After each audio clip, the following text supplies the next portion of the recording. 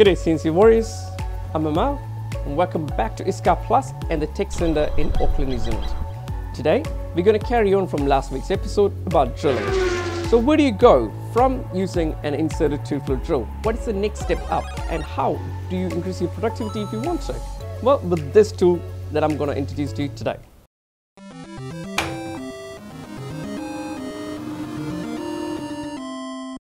So what is this magical tool I have for you guys here today?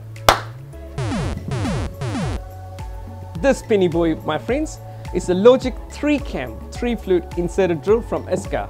And this drill is how you guys are going to increase your productivity by at least 50%. And you must be asking how? Yeah. Well, a couple of things, the body and the insert. Let's take a closer look at the insert for starters. Well, this is the H3P self-centering insert from ISCAR. This features a precise chisel point and a gash angle that is going to ensure less cutting forces and good centering.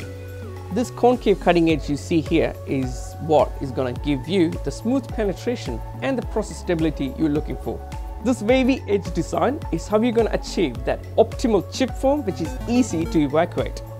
And now let's have take a closer look at the body. Well, these bodies are available in 1.5 times day, 3 times day and 5 times day length to diameter ratio. It also features variable flutes that are polished and are a lot larger. Obviously, you're to get all the benefit of a SUMOCHAM, but now you can go 50% more faster with this drill and body combo. And also with these drills, now you can do angular drilling and interrupted drilling. So any job you got, this drill is gonna smoke it.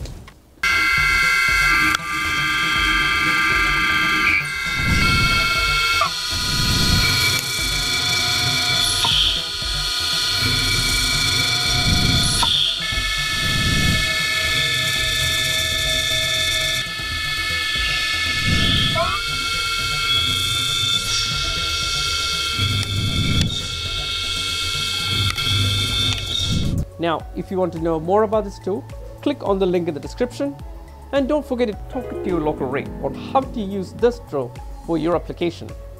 And now remember, at ISCAR, we got no time for downtime. Until next time, goodbye. Viable and you got lots more reliable. What the f? Oh, stab me!